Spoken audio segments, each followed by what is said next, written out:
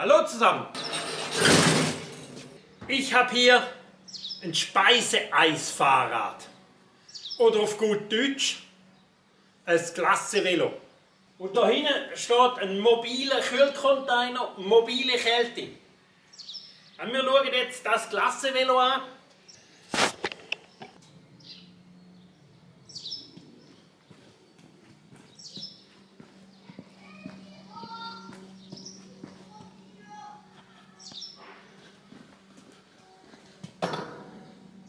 Wir haben hier den Deckel.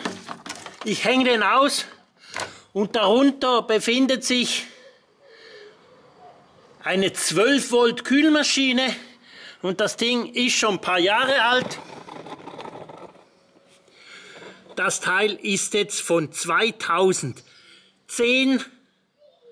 Also das Ding ist zwölf Jahre im Betrieb und aus irgendeinem Grund läuft es nicht. Ja, das ist das, was wir sonst noch machen. Speise, Eisfahrräder oder Glassevelo. Hier halt nur eine Reparatur.